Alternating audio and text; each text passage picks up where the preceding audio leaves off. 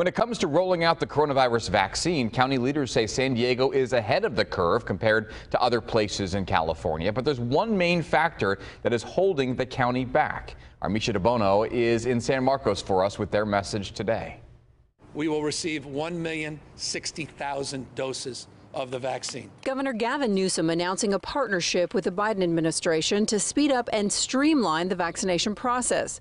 It comes as frustration mounts over concerns about not enough vaccine around the country and here in San Diego.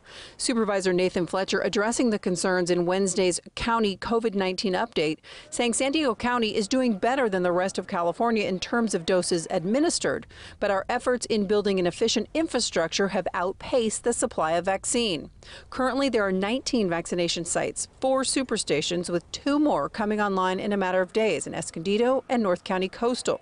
We are actually set up to administer more than 20,000 a day right now. Moving forward, uh, what we have in inventory and what we are looking at and what we're doing in the days ahead, uh, we will only be administering uh, about 10,000 per day at these locations. Again, one half of the capacity of what we could do uh, because we have just gone beyond the supply of vaccines.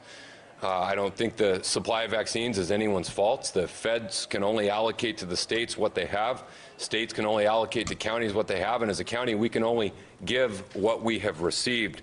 And Supervisor Fletcher also talked about of the 1,300 long-term care facilities here in San Diego, 911 of them have already received one dose, if not two doses, of the folks living there. That is great news, and that's being handled by CAL FIRE.